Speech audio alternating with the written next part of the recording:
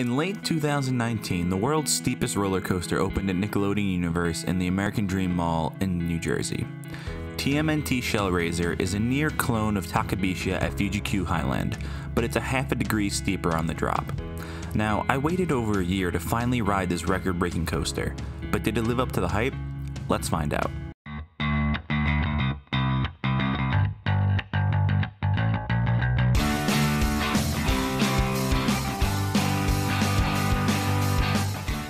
Now, first things first, let's walk everyone through the layout for those who are unfamiliar. Now, you board your 8-seater, 2-row trains, and you put down your over-the-shoulder restraints, which are fine, nothing special.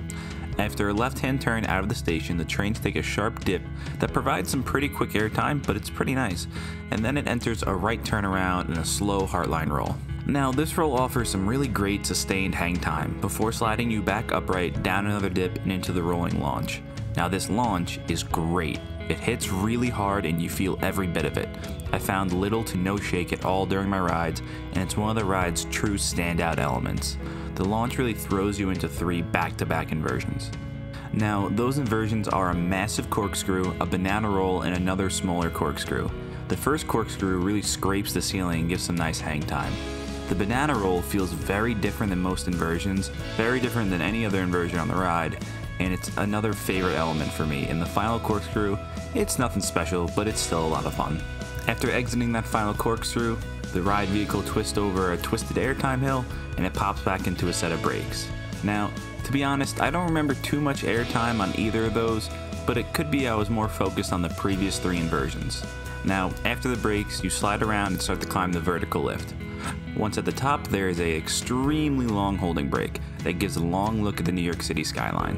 Now, after those brakes finally release, the train crawls over the drop and you're pulled over a 121 and a half degree drop, and you get some really great airtime as you descend 141 feet. Now, after that drop, you experience three more inversions a dive loop, an inverted top hat, and finally an Immelmann before popping into the brakes. Of these three inversions, none are really too noteworthy, although I probably enjoy the inverted top hat the most out of all three. So that's the ride, so let's get to my opinions. Now, let me get the negative ones out of the way first. This ride has some major potholes. Mainly after the first drop, your head really rattles around pretty good, and it caused a headache for me after my second ride. Now, the rest of the ride is not really butter smooth either, so it isn't very easy to marathon this at all. Next, this isn't really bad so much as a bit odd and noticeable, but this ride has a ton of sway. I don't know if this is only because it's inside and you can tell because of the ceiling and when you're on the lift hill, but the lift tower and the first corkscrew especially visibly move every time a train goes by. Also, the holding brake up top is definitely too long. It's a solid 7 seconds, which really kills the mood and the pacing to be honest. And I feel like because of this, the ride does suffer some weird pacing feelings for me. The mid-course lift makes the ride feel like two separate rides, which isn't necessarily bad, but I think I would prefer the lift first and then the launch to follow it up, so there's not as much of a gap in between. But it's not really a bad thing, and plus it was a cloned layout, so. Alright, enough negative. Let's talk about the great parts of this ride, mainly the three real standout elements. You have the launch, the banana roll, and the drop. Now, the launch isn't even the strongest in the park, but it's definitely one of the best I've experienced for its force and its smoothness. Now I have to say it's probably the smoothest part of the ride. Next up is the banana roll, which is really totally different than every other inversion on this ride. The others kind of blend together in my mind when thinking about riding this, but this one really stands out and it's pretty rare too. It only exists on four coasters. Now, it gives some pretty good whip around the top, and everyone else who rode this with me said it really stood out to them too. Finally, the drop is fantastic, as you would expect from the world's steepest roller coaster. Now, it isn't my favorite drop, simply because it kind of lacks the length. I feel like a strong hyper drop is better because it's so much more sustained. But it does make me want to experience rides like Cannibal Lagoon that much more. But overall, it's a great drop for sure, and the worst part is just having that pothole at the bottom, because it completely kills that feeling of pulling out of that drop. The other biggest plus for this ride is the hang time throughout.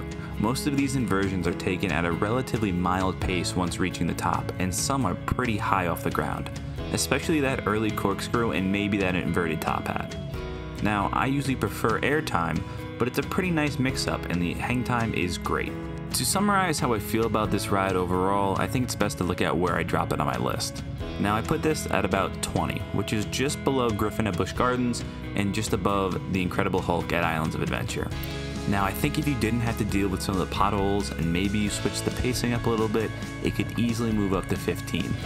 I really think this ride is great, but it's definitely a step down from being elite.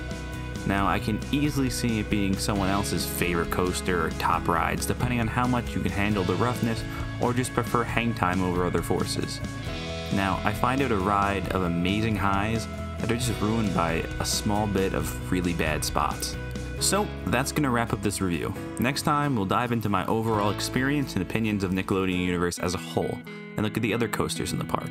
Now, as always, follow Island Coasters on Instagram for daily content and video updates. If you really want to support the channel, drop a like and subscribe. All the support really means a lot. So till next time, that's all from the shores of Island Coasters.